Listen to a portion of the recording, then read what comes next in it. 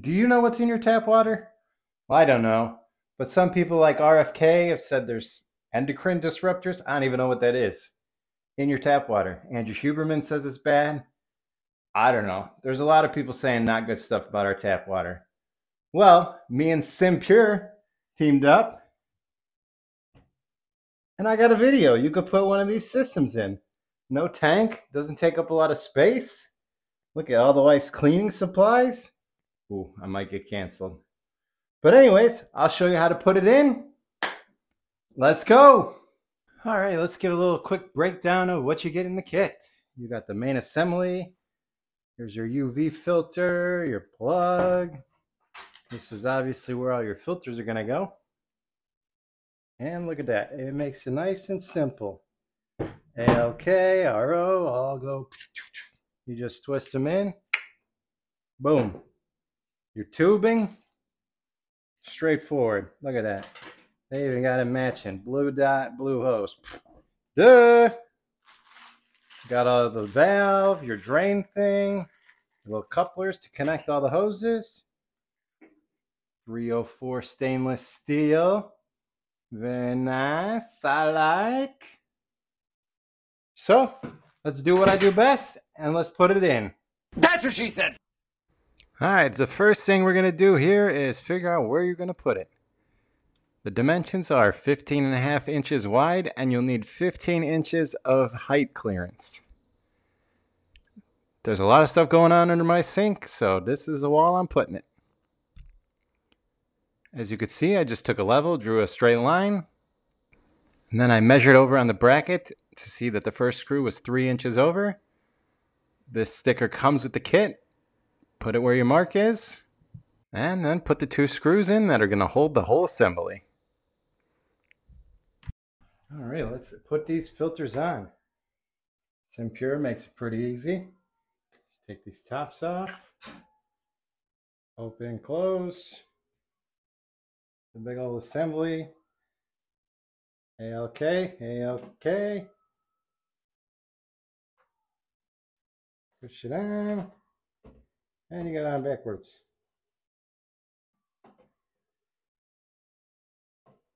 There you go. And repeat.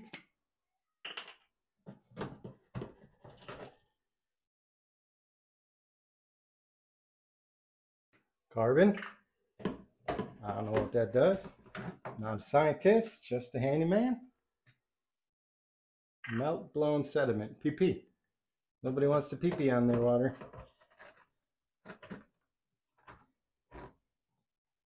There you go.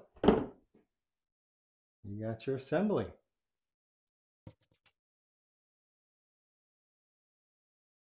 Now you're going to take this whole assembly and you're going to mount it onto the two screws we put in earlier.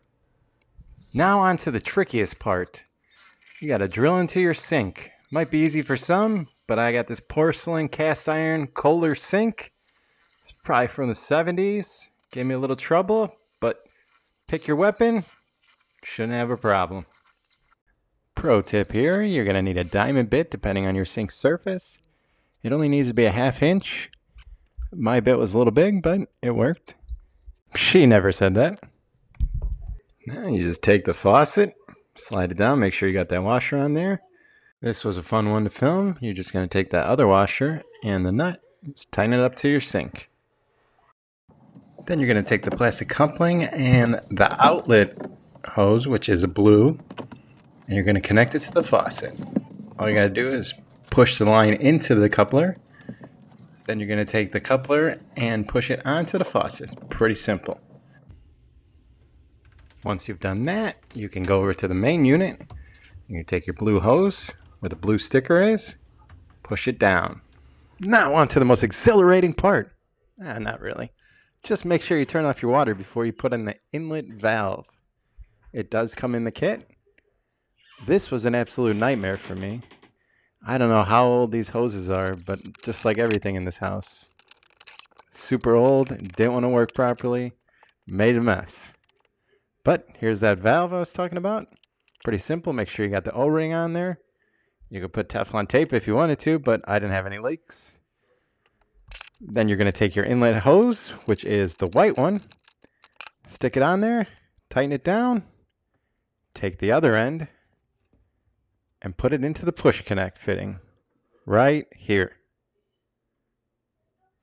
These fittings. Here we go. On to the last hose.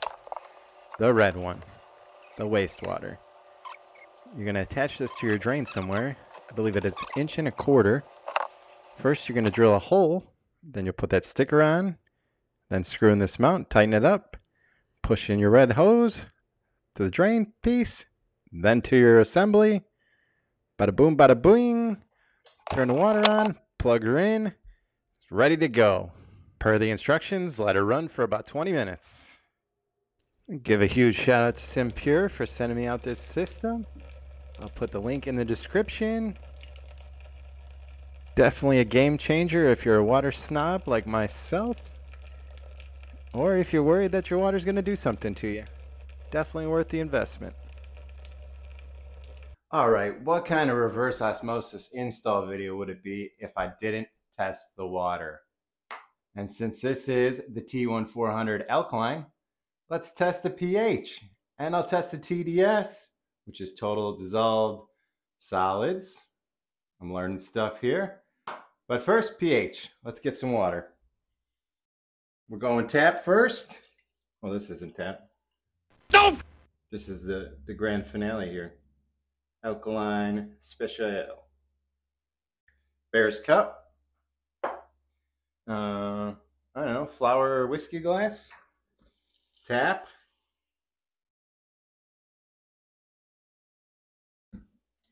And we'll run over to the fridge and see what that does.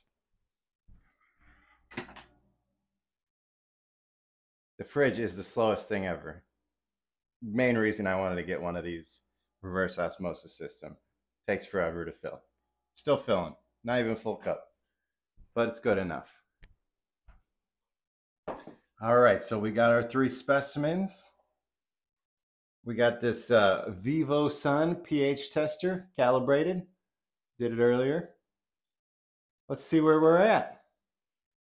Now I'm going to zoom in on the cups because you don't need to see my ugly face anymore.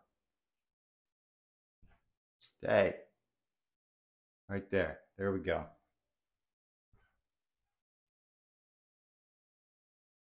All right, so where should we start? I think the tap water, that would be the original.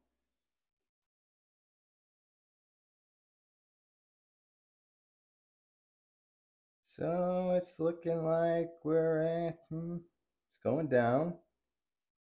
Seven, eight, seven, yeah, seven, eight, seven, seven. Uh, EPA says above six, six, I believe. Let's go over to the fridge water. Little Nintendo blow. Shouldn't be any different. Yeah, 7 7. The moment you've all been waiting for. The alkaline water. Oh, boom, boom, boom! 9 8. That's what you get in them fancy bottles. Nine nine. Nine nine. Nine nine. Now we're talking some alkaline. Now let's switch over and we'll hit up them total dissolved solids. Checking for heavy metals and stuff, I guess. I don't know. Do your own research on water. I'm just spitting facts of what this thing does. So we got the TDS here. Comes in a kit. I'll link put the link in the description. Tap water. 149. Fridge water, a little better, 107. Alkaline water, 54. Whoa, we got a, oh, there we go. Hold on. We got a little pause. 55. Better. And let me tell you, it is smooth like a baby's bottom.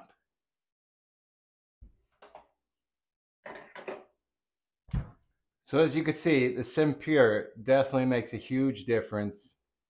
Definitely go cop yourself one. Definitely not mid, as the kids are saying.